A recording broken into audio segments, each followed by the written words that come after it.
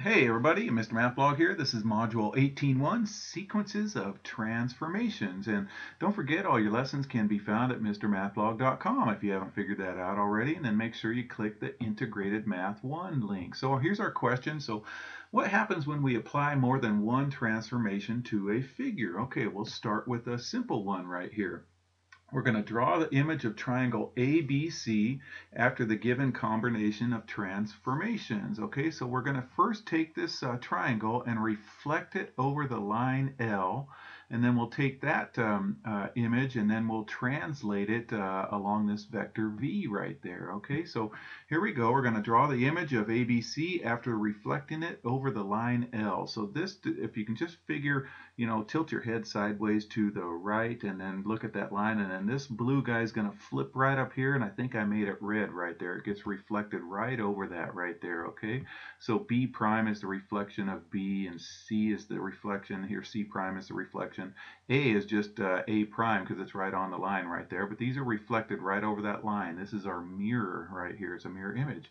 Okay, and then we're going to take um, uh, this uh, red um, uh, triangle right here and we're going to translate it along the vector. Okay, this vector goes up one to the right four. So we're just going to take that whole triangle and um, and move the vertices up one to the right four. So there we go, up one to the right four. Every point went up one to the right four.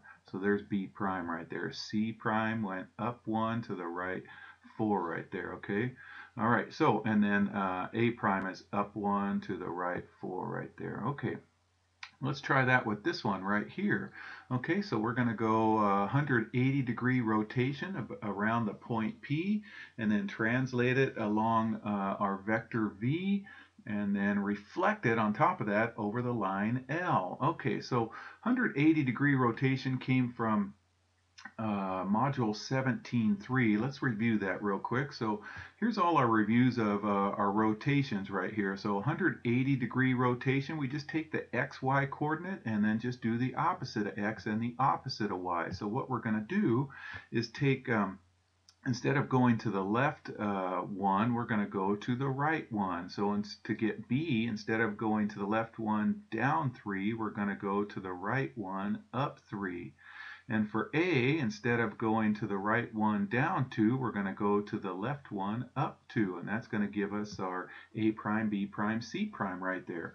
Okay, so now we've done that. Now we're going to translate it along the vector V. Okay, this vector goes up 1 to the right 5. So we're going to move it up 1 to the right 5.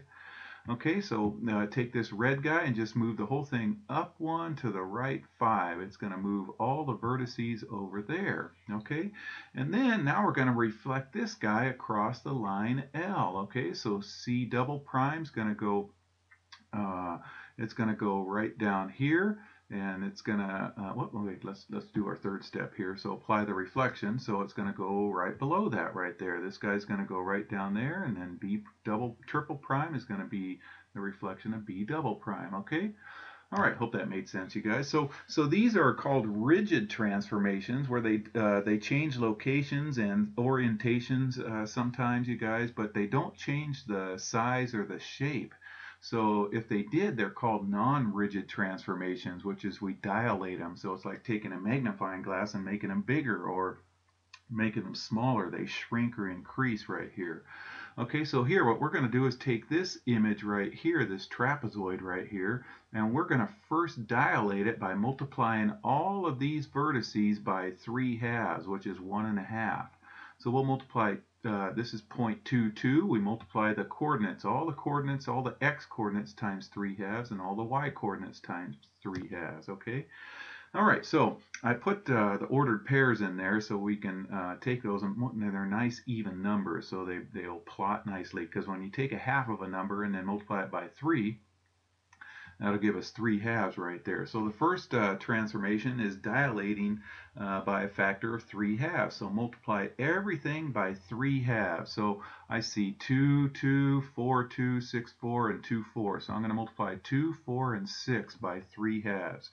So there's 2 times 3 halves. It's 3, three it's going to be 3. So this point's going to be 3 comma 3. This is going to be a 3 right there. And then this is going to be a 3. So uh, 2 times 3 halves is 3. Okay, what's uh, 3 halves times 4? Okay, so uh, this 2 goes into 4 twice. 3 times 2 is 6. So all of these coordinate 4s are going to be 6s. That's going to be a 6 and that's going to be a 6.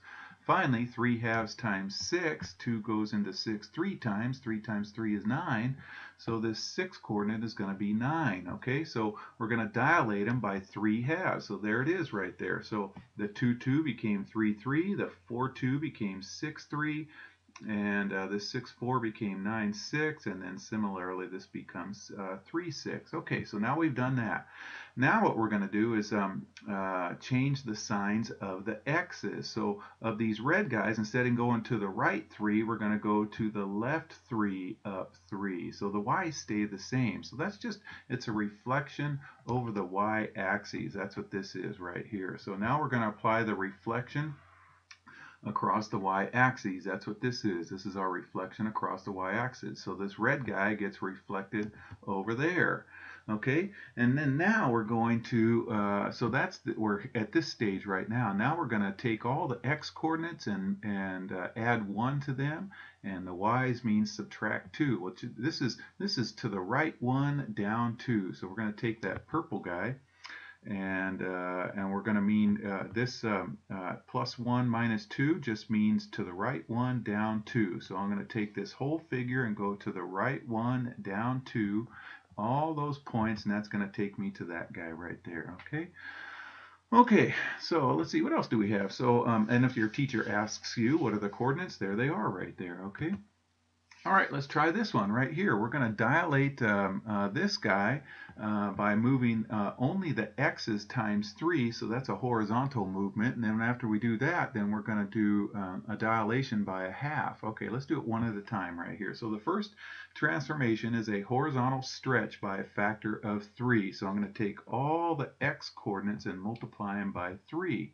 Okay, so this is going to be times 3, which is going to be negative 12. This is going to be negative 6, and 0 times 3 is 0. So when I multiply them all by 3, it, the b's stay the same. I'm sorry, the, the y's stay the same. So so this is this is still negative 4, but it's negative 12, negative 4. This is um, we multiplied this by 3, so it became negative 6, negative 4. And so there it is.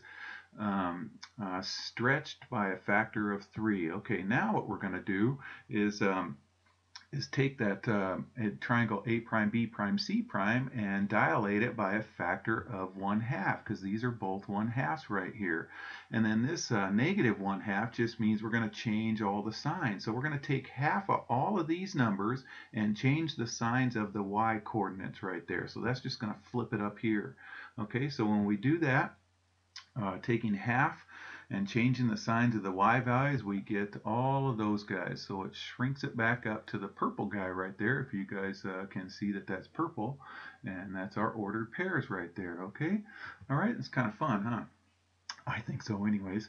All right, so if you dilate a figure by a factor of 2 and then translate it right 2 units, write a sequence of transformations that returns it back to the pre-image. So to undo this uh, dilation by a factor of 2, we dilate it back by a factor of one half. And then uh, if we wanted to go uh, uh, to the right two units and to go backwards, we go to the left two units. All right, so a student asks to, uh, asked to reflect a figure across the y-axis and then vertical stretch the figure by a factor of 2. Describe the effects on the coordinates and then write uh, one transformation using the coordinate notation that combines these uh, two transformations into one. Okay, all right, so what we're going to do, you guys, is um, the x-coordinate changes by the opposites because it's going across the y-axis, the x-coordinates change. And the y-coordinates, to do the dilations, is being multiplied by a factor of 2, so our xy coordinate becomes negative x and then uh, 2y. That'll do our dilation by the y coordinates right there. All right, so here they're going to ask us to predict the results by applying the sequence of transformations to the given figure. So try to be as accurate as you can. Okay, this is quadrant 1, this is quadrant 2, this is quadrant 3, this is quadrant 4. Do you remember that? Okay, so so we're going to take this triangle right here and it's translated by the vector negative 2, 3 and then reflected across the y-axis and then reflected across the x-axis. Okay, so when we translate it by uh, the vector negative 2, 3, all that's going to do is move it to the left 2, up 3. So imagine this going to the left 2, up 3. It's just going to take us more into quadrant 2, further away from this origin right here. All right, so now we're going to reflect it over the x-axis. Well, if it's in quadrant 2 and we reflect it over here, it's going to take us to quadrant 1 right there, okay?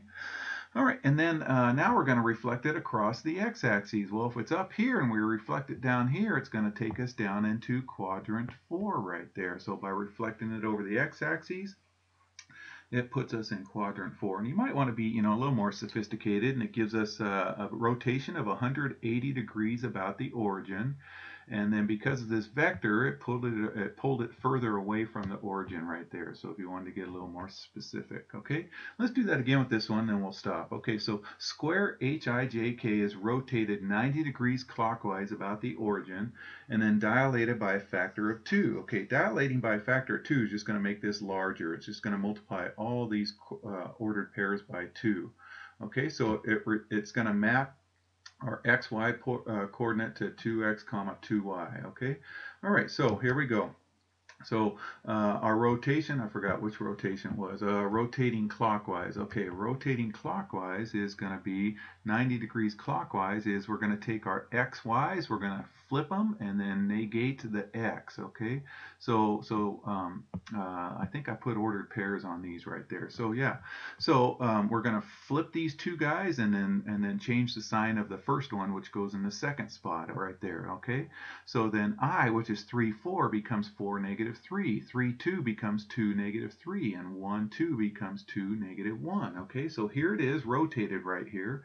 So the rotate, um, uh, it rotates it into quadrant four, the rotation of 90 degrees clockwise. And it, it kind of looks like it's a, um, a, translation. It went over one, down, what, three right there? But it didn't. It got rotated. Can you see your I, your H is right here to H prime, and the I is uh, uh, rotated to I prime. So if we, I don't know if you can see it being rotated in this direction, 90 degrees clockwise, all the letters get rotated. So it puts us in quadrant four right there. And then now we're going to dilate it by a factor of two. And when we dilate it by a factor of two, it's just going to keep it in quadrant four, moving it further away from the origin because we multiply all the ordered pairs times two. So instead of this being uh, 2, negative 1, it's going to be 4, negative 2. So it's going to be down over here. So this would be k double prime right there. Okay, and it's just going to be a square that's twice as big. All right, you guys, if you're in my class, going to assign you that. Take care.